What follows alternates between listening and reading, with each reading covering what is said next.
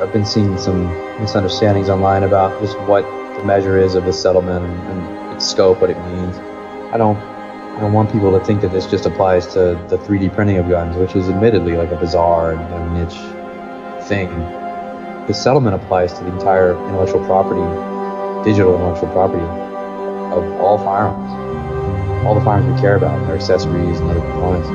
So what this means is guaranteed safe passage of our culture, of our industry, and the future of that industry into the, the internet, into the 21st century. I don't think it can be overstated uh, when looked at in those terms what this means for the future of the individual access uh, to the right to keep and bear arms.